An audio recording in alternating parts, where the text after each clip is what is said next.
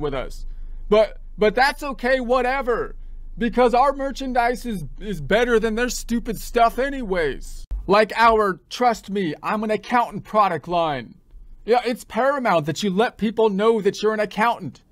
Because apparently we're among the only ones equipped with the number crunching skills to answer society's current deep, complex, and nuanced questions.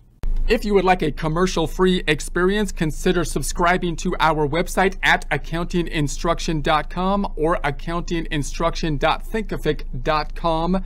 Everything basically is income unless the IRS basically says otherwise. But the second question we have to ask is, if it is income, where should it be recorded? We've touched on this a few times in prior presentations, but it is, of course, a crucial question because it makes a difference to the income taxes as to where it's going to be reported. If it was W-2 income, it would be reported on page one of the Form 1040, and it would be subject to self to payroll taxes, which would be deducted on the W-2, but only the employee portion. If it was sole proprietorship income, it has to be reported on the Schedule C, in which case you do get the deductions, which is great, but you're subject to the self-employment tax, both employee and employer portion on the net income. So that's going to make a big difference. And there's questions in terms of some income having more preferable tax rates, most income being taxed at ordinary income tax rates, some such as the qualified dividends, possibly long-term capital gains having more favorable tax rates.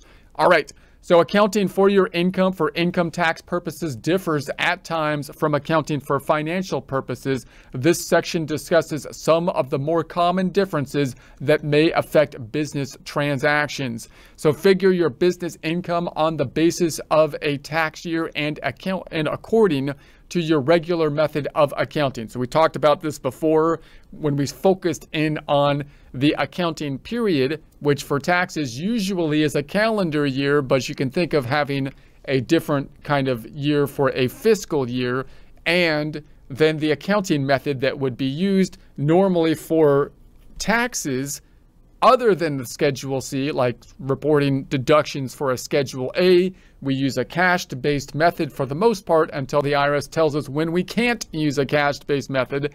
On the Schedule C, we could elect possibly a cash-based method, but we might be forced to have an accrual method in some cases, such as if there is inventory, and we might just choose to have an, an accrual method, in which case we have a different revenue recognition method for income on the Schedule C than we do possibly when we're looking at income elsewhere, which is typically on a cash-based method. So if the sale of a product is an income producing factor in your business, you usually have to use inventories to clearly show your income. Dealers in real estate are not allowed to use uh, inventories. For more information on inventories, you can see chapter two. So we talked about the concept of inventory and how it might tell us or force us to push from a cash-based method to an accrual-based method. When you think about real estate, uh, thinking about selling actual, you know, physical property, real estate, then uh, that could also complicate how you would think of uh, an inventory situation. In other words, some things can either be inventory or non-inventory depending on the how they are used. If I have a forklift and I'm using it in the business to move stuff around, it would generally be reported as property, plant, and equipment. You would think the cost of it being allocated over the useful life. But if I buy and sell forklifts, then the forklifts are basically inventory, in which case I would expense it when I sell them, you would think, in terms of cost of goods sold.